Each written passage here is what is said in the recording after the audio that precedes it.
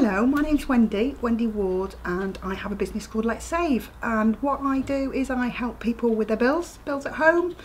Um, what I'd like you to have a think about really is have you got the bills that you signed up for?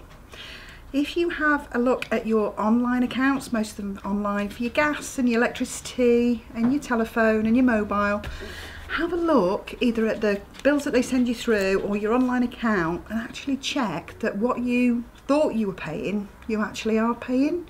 Because uh, unfortunately, a lot of these companies have a habit of just creeping the prices up every, every, ever so slightly um, or putting extra costs on that you didn't realise that will be applied to your account. So it's a good exercise and my top tip to actually have a look at least every three months of exactly where you are with your bills. I know we're all busy, but have a look, print them out, have a look at them online and see if they are exactly what you, what you uh, thought that you were paying.